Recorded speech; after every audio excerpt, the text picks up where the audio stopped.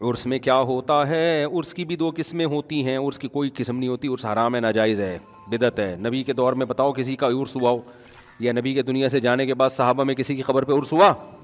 तो ये जायज़ नहीं हराम है। कोई भी इस, स्कॉलर्स की तो दो किस्में मैंने बताई हैं उर्स की कोई एक ही किस्म है, बिदत। उर्स में क्या होता है? जिससे फजर की आँख ना खुल पाती हो तो वह पूरी रात जाग कर गुजारे, ताकि फ़जर ख़ज़ा ना हो। नहीं, ऐसा नहीं है। फ़जर में अगर आँख नहीं खुलती तो भी शरीयत में आपको रात को सोने की इजाज़त है। अलबत्त आँख खोलने का पूरा इंतज़ाम करके सोएँ। इतना शरीयत ने मुकल्लफ़ नहीं बनाया कि आप रात सोएँ ही नहीं। तो तो पागल हो जाएँगे थोड़े दिनों में। एक सहाबी का ऐसा ही वाक़ हदीस में आता है, वो बकरियाँ चरा के रात को आया करते थे। जब सोते थे तो उस ज़माने में अलार्म वाली घड़ियाँ नहीं थी। तो वो उनकी आँख नहीं खुलती थी। तो फिर नबी ने फरमाया, जैसे ही आँख खुले, वैसे नमाज़ पढ़ लो। लेकिन ये उस दौर की बात है जब आँख खुलने का कोई इंतज़ाम गाँव देहातों में थे पहाड़ों में सो जाया करते थे। तो आँख खुलने का जब इंतज़ाम है तो कर, क्योंकि ये तो इख्तियार में ही नहीं है ना तो शरीयत ने इसका मुकल्लफ नहीं बनाया कि आप सोए नहीं।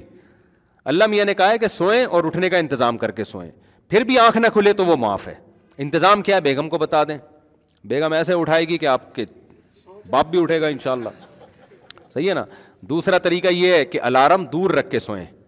बाज़ लोग सोते सोते अलार्म को धाड़ करके मारते हैं, वो ऑटोमेटिकली बंद हो जाता है। अलार्म दूर रखें, तेज़ अलार्म हो ताकि उठ के जाके उसको बंद करें। तो तेज़ अलार्म हो तो ऐसे बहुत सारे तरीके हैं।